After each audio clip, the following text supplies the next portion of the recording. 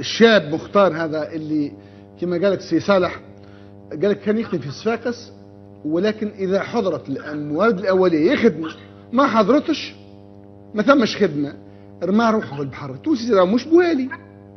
نحاول نعالج صوت. التونسي اللي يرمي روحه في البحر في المخاطر مش بوهالي مش يخلي الجنة وراه.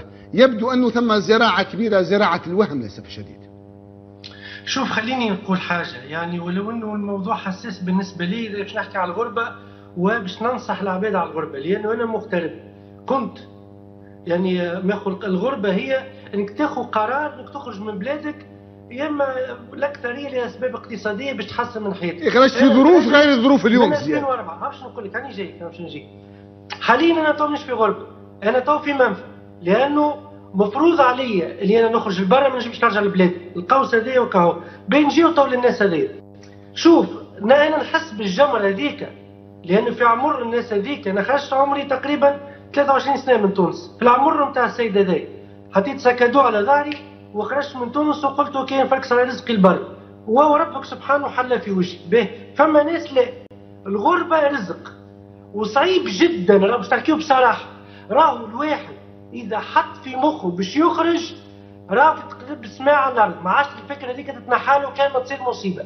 نعرفها الإحساس هذاك أنا تعديت به كي تولي حتى الهواء ما عادش تجبده في البلاد نتاعك تغزر الدنيا كلها مسكرة. يسرتو كي تغزر مثلا العباد اللي تنصح فيك باش تقعد في البلاد. كروشها تدز القدام وتعبي في المليارات وانت ميت بالشر. الشعب الوليد هذا اللي عمره 22 سنة تقريبا في عمره هو قلت كده خرج من تونس. ما تنجمش تقنعه تقول له يجي اقعد تو نسمع في كلام وعود الحكومة. تقول له اقعد باش نخدموا بلادنا. وعود الحكومة. نخدم بلاد. باش نقوم الصباح نخدم على قيس سعيد ياخذ 35 مليون في الشهر ويعمل ميزانية ب 200 مليار وياكل بمليار و141 مليون لحوم حمراء. مش حاسس أصلا بالشعب. يعني تحب تقول له بربي يقعد خلي استثناء باش نزيدوا قيس سعيد والوزراء نتاعو والمحيط نتاعو باش يزيدوا يعبيو كروش باش نخدموا عليهم. لا المواطن هذا ما يسمعكش. وقتاش نجم يسمعك المواطن هذا وقت اللي تقول له شوف راهو فما باب أمل محلول في البلاد هذيا ويجي شوف بعينك. اليوم صعيبه غدوة تتحل شوية بعد عامين تتحل أكثر بعد عشر سنين نحط لك شوف وقت اللي في البرلمان ضربنا بالبونية وعروقاتنا شرتله ونصيحوا في البرلمان باش نعديو الصندوق الاستثماري القطري. وقت عبير موسي وسامي عبد والمكي هذاك هيكل المكي والمجموعة هذيك يضربوا بالبونيه باش ما يتعداش. اللي الصندوق الاستثماري هذاك ما كانش ماشي شركات كبرى لا كان ماشي للمستثمرين الصغار ولا للشباب. يعطيهم الكريديات الصغيرة اللي باش يحل مشروع صغير اللي باش يعمل مشروع فلاحي صغير ومليارات كان باش تتصب. نحن نصيحوا ونعرفوا في البرلمان باش يتعدى. وقلنا لهم جيبوا ما كنتم تقولوا الإمارات. جيبوا الإمارات تستثمر جيبوا بلدان أخرى تستثمر. هاي فما دولة تحب تستثمر مع الشباب مع المواطنين. قالوا لنا ألف اعوذ بالله. عبير لبست الكاسك وقالت لك والله ما يتعدى. سامي عبد وقالت لك والله ما يتعدى. حركة الشعب قال لك والله ما يتعدى. والحمد لله الحمد لله إنه تعدى بعد قيد شعمل وبلوكيه وما حبش يصحح عليه وما حبش يعديه. وقت اللي عدينا القانون نتاع التشجيع الاستثمار والاقتصاد التضامني عديناه يعلم ربي كيفاش تعدى. بعد قيس سعد وصل غاديك قال لك ما نصححش عليه وهدايا مش وقته. وقت اللي كان قبل البرلمان قبل الانقلاب كان يشجع فيه وبعد قال لا هذا يبيع الأوهام. وقانون 38 نقول لك حاجة المواطن قانون 38 كذلك. زي هذيك هو يعني. شوف الشباب راهو إذا حط فكرة الحرقة راه عادش تنحل لكن باش نقول له حاجة برك. يا شاب يلي تقول بلادك اليوم مسكرة وخل فركس البر. راهو الظروف نتاع اليوم راك تخرج تموت. راهو ما عادش 50 50 طلب على الحلقة باش تخلط للاوروب وتكون مستقبلك هذا إذا خلطت. اليوم الشهادات اللي بثها تبث فيها اليوم مواقع عالمية رسمية في تونس كما موقع كشف ومواقع أخرى. ويعني إذاعات تعدي فيه شهادات حية انه اجهزه الدولة واجهزه دولة قيس سعيد متورطة في عملية اغتيال الشباب التونسي في البحر. يعني أنت اليوم اجهزه الدولة بتاع قيس سعيد اللي وشهادات حية وده مش كلامي أنا كلام شهادات موجودة في مواقع إعلامية رسمية. تقرير رصد نعم.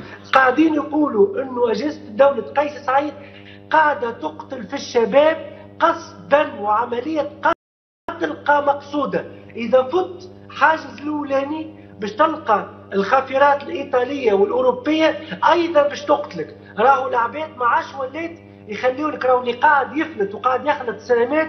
راهو نسبة واحد في المية راهو بالعشرات من الجثث قاعدة يتبلغ عليها. في صفاقس في رواد في بنزرت قاعدة تخرج. نقول لكم حاجة برك مش نقول لكم اقعد وابني ومستقبل خير وراهو الأوروبا تبدل. لا. راك تخرج تموت. اجهزة الدولة بتاع البلاد بتاعك راهي باش تقتلك. واجهزة الدولة بتاع تلين راهي باش تقتلك. وإذا تخلط غاديك ربعت قيس سعيد باش يعاود يستقبلك وشاريك بالفلوس من عند التلاين أنا شو نقول لك يا أخويا؟ راهو اليوم ماهيش من الحكمة إنك تسافر. نعرف الظرف في البلاد يعلم ربي بيه. والعباد غاطسة للعنفوش لا فما خدم واقتصاد منهار وبطالة. لكن نقول لك حاجة برك اقعد في بلادك وعلى الأقل بوك وأمك يغزروا لك حي خير ما تروح لهم في صندوق إذا كنت محظوظ. اليوم راك تروح في صندوق لعائلتك راك إذا عندك مع حد العباد الحوت يكلفها في البحر. أعملوا عقلكم أرزنوا شوية. راهو اليوم هاك تسمع في شهادات موثقة إنه اجهزه الدولة بتاع قيس سعيد مورطة في القتل ولا التلاين قاعدة تقتل. أعملوا عقولاتكم ارزنوا على الأقل شوية خليوا الحكاية دي تهفت على الأقل شوية عيشوا في اللي تنجموا تعيشوا وعديوا المرحلة هذه لين يعمل الله ألف دليل البلاد هذه ونلقاو حل مع بعض مش نقول لك هكا اقعد وابني توا معاهم وكذا راهو كلام إنشا وكذب زياد على. سي زياد. قاعد نقول على الأقل. بربي خويا حسين سأعطيك المجال. الجملة المجال لا لا لا تفاعل تفاعل ربما الأهم سأعطيك المجال نتواصلوا ربما على الأقل الشاب التونسي ضروري أنه يتعلم صنعة وربما تتاح له فرصة أنه يهاجر بصفة نظامية أقل risque. وإلا كان لم يقدر على هذا ربما كلفة النضال الاجتماعي راهي أقل بكثير بأنك تلقي بنفسك في البحر كما قال زياد وأجهزة الدولة. تتلقفك وإذا كان معك مرجعيك مرجعين في خصوص هذه الاتفاقية. نعم. شوف سي حسين أنا معك تماما. لكن بنحب نعرف العباد اللي اللي توا صياد مخه شعل وراسه دخن ويحب يخرج من البلاد. ما تنجمش تقول له برا تعلم صنعة. أنا قلت لك تعديت بها المرحلة دي في صغري. وقت اللي قررت باش نخرج من تونس سايك تحط لي مليار قدامي سايك باش نخرج. سايك ركبت لي في راسي قلت باش نخرج. هذاك علاش قاعد قاعد نقول للشعب المواطن هذا إذا تنجم تتعلم صنعة.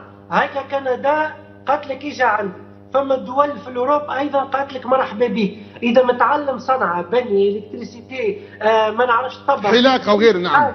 عندك دبلوم مع شوية فرنسية على أربع كلمات بالأنجلي تنجم تبات متعشي وتسترزق غير من واحد عنده ترامت شهادة جامعية راهو في الغربة البناي ولا واللي يخدم في الضوء واللي يخدم في, في, في البلومبيي والواحد راهو يصور عشرة مرات قد لي عنده ترامت شهادة جامعية راهو ما يكذبوش عليه ولكن اليوم الوضع غير الوضع لأن إحنا نخاطب في في شريحة أخرى من الشعب التونسي اللي خارج وما قصد ربي على البحر.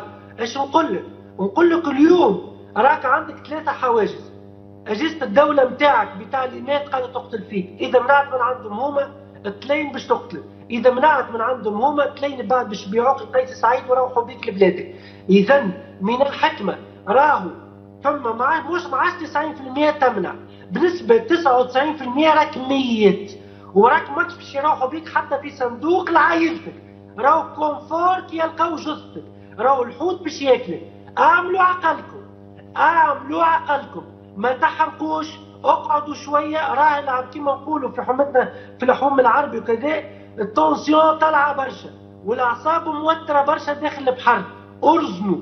أرزنوا. وخموا في عائلاتكم أغزروا لبوك وأمك والشوية متاعهم. قلت لك راهو كي باش تروح في صندوق راهو confort راهو هذا confort. اليوم اللي يروح في صندوق لعائلته يتسمى ترف لو شفتوا الشوية والكبدة اللي تشوات متاع الأمهات في جرجيس. ولات العباد يقولوا خرجوا لنا ولادنا حتى ندفنوهم. أغزوا للتصويرة هذيك. وخرج الكذاب قيس سعيد قال وستأتي الحقائق مدوي هل سمعنا الحقائق اليوم؟ أنا خطابي للشعب وللشباب هذايا باش نقول لك؟ أقعد وراه مستقبل خير وباش تبني وباش تعمل كله كذب والكله فشوش. المرحلة حاليا اليوم نعم. اللي يروح بكاب فريكاسي للدار يتسمى بوه بي. اللي يجيب يعني كيلو سميد للدار. راه بوه بي. اليوم كي تجيب ثلاثة باقيات لعائلتك راك عملت إنجاز وولادك يقولوا لك يا بابا يبوسوك من جبينك اللي عملت هذا. إذا مش نقول لك والله يقعدوا كذا. نعم. نعاود نقول جملة فقط.